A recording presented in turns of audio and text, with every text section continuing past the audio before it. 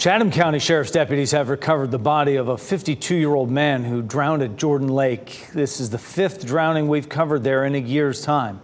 WRAL's Julian Grace tells us what we've learned about the man who died and efforts to improve safety there. Julian. Well, Jeff, on this beautiful day, it is a very somber moment here along Jordan Lake. This is near the area where the victim drowned. He has been identified as 52 year old Eduardo Martinez.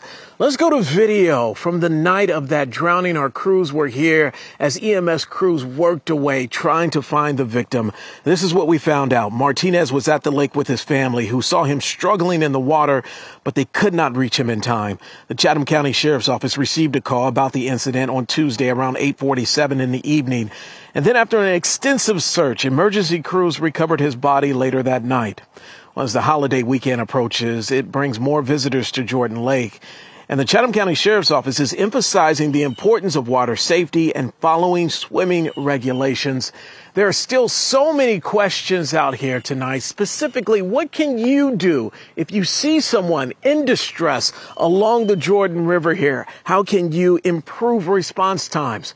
We're asking those questions today. We'll have more for you on that later tonight at 4 and 5 o'clock. For now, reporting along the Jordan Lake, Julian Grace, WRAL News. To increase safety, the Chatham County Sheriff's Office recommends people wear a life jacket while at Jordan Lake. Also, be sure to swim only in designated areas. Supervise your children closely and be aware of water conditions and your surroundings.